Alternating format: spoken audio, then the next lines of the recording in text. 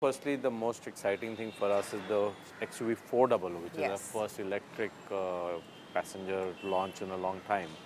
Uh, that's going to start with test drives in January, and then we start deliveries across Feb and March. So that is exciting, and we've got a lot of very good positive feedback on that. We will announce the prices sometime in the middle, you know, early middle of Jan.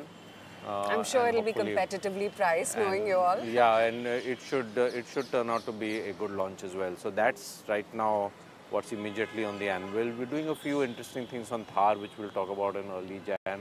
Uh, we feel the opportunity to grow the category uh, is there still. Of course, we've literally created this category because you know when we launched this a couple of years back, nobody thought that anyone is going to buy a two-door.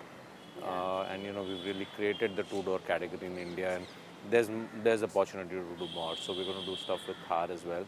Uh, so and of course we have all these launches which are so recent, so we've got to consolidate on them. A key priority for us now is to start bringing down the waiting period, you know, and the time to say okay, so much is the waiting period and feel good about it is I, I don't think that's that doesn't make anyone feel good, neither us nor customers. So our priority now is to say waiting period is down, we are able to deliver a lot and get uh, get the vehicles across to customers.